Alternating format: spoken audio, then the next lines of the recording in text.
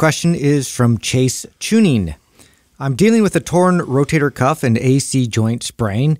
How would you advise training around this injury? Now, Sal, this is this happened to you, right? Did you not sprain yours? I I had I didn't have a tear in my rotator cuff, but I did have uh, a slip separation of my AC joint, a slight separation. Now, do you think the tear in the rotator cuff is due to the issue with the AC joint, and maybe that's it's put stress on the rotator? I don't know which one came first. You know, they they they you tend to see more than one thing. So you'll see like bicep tendon inflammation, rotator cuff tear and then some AC joint issues. You, you tend to see more than one problem when somebody hurts their shoulder, especially if it's an injury. Um, you know, not like just working out and it hurts, but rather he fell or did something to it. I don't know what Chase right. did exactly to his shoulder, but I'll say this when it comes to an injury. Um, now, basic is just train everything but uh, that area. So do all the stuff that you can do, and don't do anything that you can't do. Now, some people will be like, "Oh my God, I you know." I want to be able to work that area out. Am I going to lose muscle? You will. You will lose muscle in that area, but it comes back really fast. Um, muscle memory is a, is a pretty awesome thing. Here's the other thing, too. Don't make this mistake of not working out at all. Uh, studies have shown that if you train, for example, old studies will show that if you train like your right arm and don't right. train your left arm, you'll definitely gain more muscle in your right arm than your left, but there's some carryover. There is some carryover. So, you know, your, your rotator cuff is torn, your AC joint hurts. That doesn't mean you can't work out your lower body. It doesn't mean you can't do things, simple exercises like curls and tricep extensions.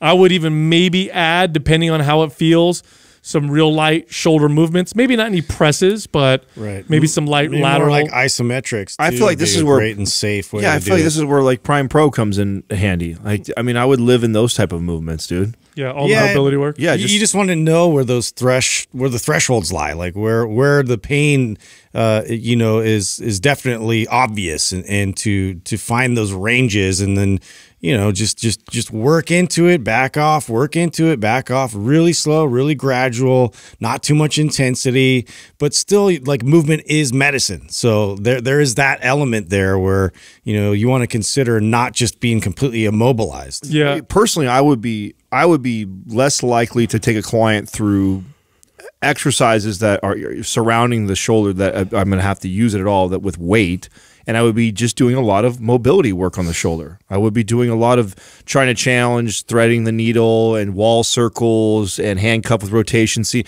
just your body weight, so that if it does hurt or you feel it, you take it to that end range and you try and challenge that end range.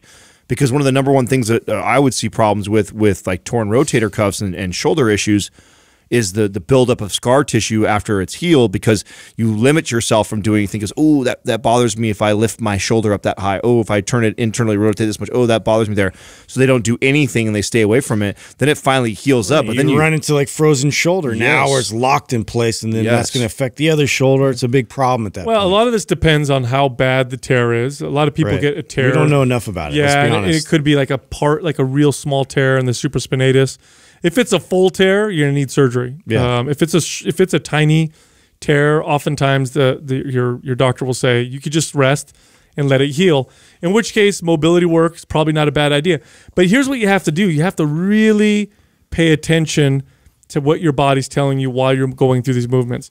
Just because something's a mobility movement doesn't mean it won't hurt you more if you're not smart about it. I mean, you could do handcuff with rotation, have a really bad rotator cuff tear, and really fucking tear it. Yeah, yeah you're not true. trying to press through the pain. That's for for sure. No, the idea is you take it to the end, the end range. That's mm -hmm. a, the idea is not that you work through it or yeah. push through it. And I think there's there's more risk at doing that with doing weighted exercises, yes. i.e., seated rows, chest pressing, doing things thinking like, okay, I can do this. It's okay, because all that takes is a little bit of the you to come out of like bad or come out of good command mechanics and poor form and the shoulder just not in an optimal place for that to really fuck it up. And then now you're holding on to, you know, 100 pounds on the barbell or you're doing something way more risky than if you're doing something like a handcuff with rotation and you're like, ooh, okay, ow, that hurts right there. And it's just right. you. You're taking yourself through that range of motion with no weight or resistance you're in my opinion you're far you're you're far better off. And if you were to gradually incorporate resistance, I'd probably start with rubber bands as a, as a way to kind of gradually bring that in. So at least it, it you know, it goes with your natural strength curve. So that way it's like, it, you know, you'll feel the most stress in your strongest point. Yeah, when I when I had my shoulder surgery, I I cut the recovery time in half. Oh, excuse me, more than half, probably down two thirds. Uh, by what the doctor told me uh, how long it was going to take. I remember I don't remember exactly how long he said, but he told me, you know, by this date, um, you should be okay to to train, you know, moderately heavy. And it was way sooner than that. And it was just I was just rehabbing it, but I was very careful. I was moving it to its end range. Oop, that doesn't hurt. That kind of okay. Let's, let's stay within that range of motion. Can't go any further. But I would test it little by little, and it was remarkable. And I did lose a shit ton of muscle initially. I remember I wore I had to wear this shoulder brace and I had the whole deal. You know what I mean? I had the the, the pain pump. You ever seen that where they, they actually have a catheter directly to the, Oh, the yeah. site of surgery and you push it for I had that in there for a while or whatever. And I remember when I took everything off and I looked in the mirror, and this is for someone who's like works out for you know, their whole life. I'm looking in the mirror, I'm like, oh, this sucks. Like it looks like this arm, there's like it's all Just gone. shrunk. Yeah. It's all gone. It came back so fast, like so fast. That that muscle memory is, and now I have no issues. I mean, I have a little bit, a little bit of loss of stability in my left shoulder, but that's not because, uh, I, you know, because I lost muscle. It's because part of my AC joint was resected and it's never going to come back. But aside from that, it came back very, very quickly. So, yeah, I would go like what we're saying: go through, listen to your body, go through the movements, easy, challenge your range of motion, but be smart about it. Uh, the parts of your body you can train hard, go for it. If you can train your legs hard, go for it. You probably can't barbell squat because of reaching back to grab the bar. Fine, no need to do that. There's leg press, there's lunges, there's other exercises you can do for your lower body, and just keep the rest of your body strong, and that'll mitigate uh, uh, some of the, the, Water, the loss of strength. water stuff is really cool for this too. Oh, being in the pool. Yeah, being able to go in the pool and like, because then you get like a little bit of resistance with the water, but just enough to where it's still really easy and not very risky.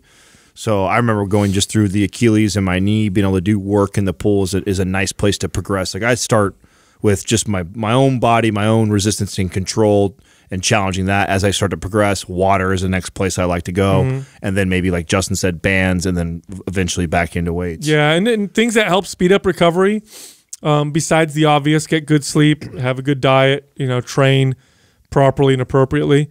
Um, red light therapy, you know, so there's some studies that show that it helps speed up uh, the your recovery. Um, sauna use seems to speed up recovery. At very at the very least, it reduces pain. Um, so those are a couple things you can do to help speed up the process. But the biggest things are going to be get good sleep uh, and make sure your diet is good.